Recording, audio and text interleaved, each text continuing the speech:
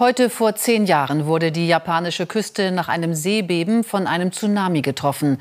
Weltweit bekannt wurde die Katastrophe unter dem Namen Fukushima, weil es dort im Atomkraftwerk zur Kernschmelze kam.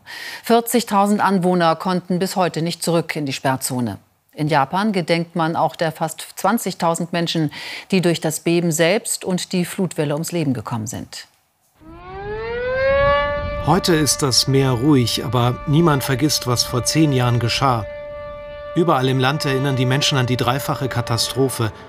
Dort, wo der Tsunami auf Land traf und auch in der Hauptstadt Tokio.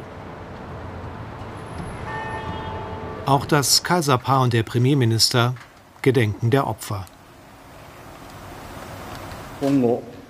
Ich glaube, es ist von großer Bedeutung, dass wir alle unsere Herzen weiter vereinen und den Menschen in den betroffenen Gebieten noch viele Jahre zur Seite stehen. Denn die Wunden sind tief. Gewaltige Tsunamiwellen verwüsteten das Land nach einem der stärksten Seebeben der Geschichte. Im Atomkraftwerk Fukushima kam es zu drei Kernschmelzen. Zehn Jahre später ist die Katastrophe noch immer präsent. In Säcken lagert radioaktiv verstrahlte Erde. Noch immer sind Gebiete um das Atomkraftwerk unbewohnbar. Japan hat Städte neu aufgebaut, kaum jemand kommt zurück, meist nur die Alten.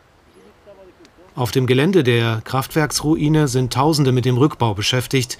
Der Platz für radioaktiv belastetes Kühlwasser wird immer knapper. Noch ist nicht entschieden, was damit geschehen soll.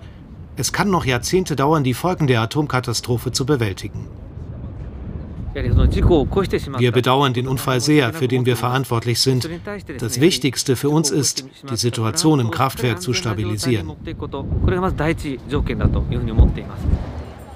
Dass TEPCO das wirklich bedauert, glauben diese Menschen nicht. Sie demonstrieren vor der Firmenzentrale in Tokio, auch weil Japan die Kernkraft wieder ausbaut. Ich denke, genau wie Deutschland könnten auch wir ohne Atomenergie leben. Dass wir so etwas Gefährliches nicht brauchen, fordern wir jeden Monat. 311, der 11. März 2011. Dieses Unglücksdatum werden die Japaner niemals vergessen.